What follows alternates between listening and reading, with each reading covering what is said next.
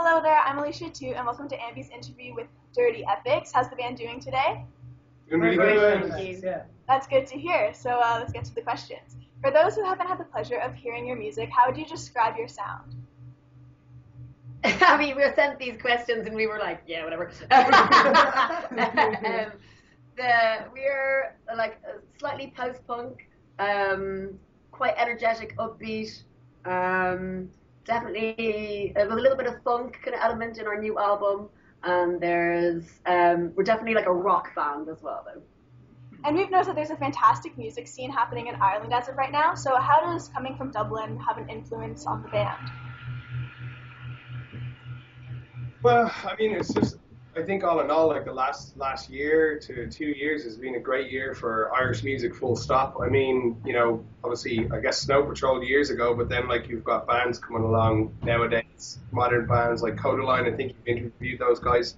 Uh, Cinema Club, and the cast of Cheers. You know, there's there's a lot of great Irish music out there. So um, I don't know whether it's necessarily an advantage, kind of coming from Dublin per se, but certainly it feels like the eyes are are are on Ireland at the moment for for new and new acts. So. Yeah. And um, as far as your music goes, who inspires Dirty Epics as musicians and songwriters? Mm, I think it's very varied for all of us, really. What do you think, Darren? Yeah, like just sort of slightly alternative stuff. I suppose.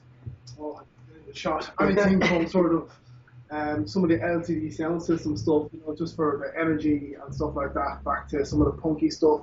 Even maybe the police in parts and surf rock as well. What is the latest info on the release of your latest upcoming album? Um, well, I suppose yes, we're releasing it this Friday. Uh, we're launching it in a really great little music venue in Dublin City Centre called the Workman's Club on Thursday night. And uh, we're just doing the kind of usual promo and interviews surrounding that uh, this week and into next week. And um, I suppose what we'd like to do is get over to the UK. We've taken a break really from gigging elsewhere over the last while because we've had so much to kind of sort of organise over here. But um, we're hoping to get back over to the UK, especially London, more in the coming months, and then Germany next, and then hopefully Canada too. Yeah, that'd be it'd be fantastic to see you guys here. Anyway, so um, yeah, speaking of your gigs and gigging, what is the craziest thing to happen to you at one of your live shows? Wowzers. Uh, uh, very early on, when gig we were playing, we had a girl kind of do a striptease in front of the stage, do some flashing, And then dancing. two minutes later, an old man did the same thing. No way. Yeah. It was creepy. Yeah, yeah, yeah, but very entertaining. Wow. that was pretty, that was pretty strange. Otherwise, we just had some things thrown at us the odd time. Uh, I had a biscuit and a bra thrown at me in the same gig. That was weird. Alright, so some Uh, crazy stuff. Find side. Yeah, Wow. so weird. Nothing ever reaches me because these three guys are always in front, so my gigs are always pretty safe. All right, and um, I'd like to say that "Let's Be Alone" is such a cool song. What's the story behind it? Um, I guess the story behind it is um, kind of capturing that moment when um, you know people kind of meet, you know, and it's I suppose capturing that chemistry and that excitement. So it's about literally going, let's be alone together. That's basically it.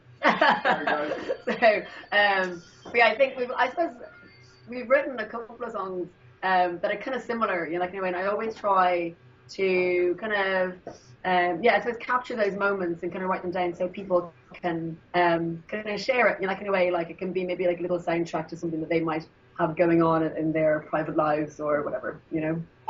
And um, you have now finished recording your video for the single "Midnight Missing." So will fans be able to soon see that? Like, when is it going to be released or sent out? Um, we're going to premiere it uh, the night of our launch gig uh, on Thursday. So we have all the cast and crew coming along, which will be really sweet because everybody put in such a huge amount of effort. You know, it was like a, I think there was over 50 cast and crew on the first day of shooting. So um, yeah, so it's going to be a little bit controversial, quite slick, uh, quite sexy, and a little bit funny as well. So I think people really enjoy it. But um, yeah, like our director is a guy called Vincent Gallagher. He's a young Irish director who's supremely talented. Like, and he's um, great fun to kind of chat to. But when he gets into work mode, he's very serious. You know, everyone's kind of fluttering around him, and he's very quiet, and he just kind of mutters to people, and then things happen. You know. Um, so I think he's very proud of it as well, and I think it's something that people will definitely kind of like be proud to kind of show their friends and family. Hopefully, their family will have to be quite open-minded though. I think. We're looking forward to sharing that one everywhere. So yeah. yeah, It'll- it, it should be up on um, like YouTube in the next kind of I think coming Right, week Saturday, anyway. yeah. Okay, awesome. And what does the band do outside of music for fun? fun. We've no time, you know. We just band that we live in this practice room that you see now, you know. Uh, we all enjoy a drink. Uh, I uh, so we like to go out and have a good time uh, be- after our shows. I nearly said before and after shows, but it's strictly after our shows. So yeah, that's the main hobby. Uh, anything else? Um, I have gone shooting before, clay pigeon shooting only. Kind of enjoy that. And uh, I'm a makeup artist by day, so I love kind of fashion and beauty and that kind of stuff as well. So I do kind of that's my day job, I guess. All right, and uh, for our last question, what is something about Dirty Epics that nobody knows yet? Should have thought about this one. Oh yeah, that's the one that I was like, ooh, but yeah. We're very open people, to be honest with you. Like we don't hide things away. We're not a very enigmatic band, unfortunately. We're pretty balls Pretty out out, I guess, for want of a better word. Like so, there is really kind of nothing that people don't really know. I Okay. guess. Open. Nothing that is overly exciting or interesting, unfortunately. Maybe Gary, you should make something up. We're uh, we're uh, Gary is my stepson. There. Perfect. All right.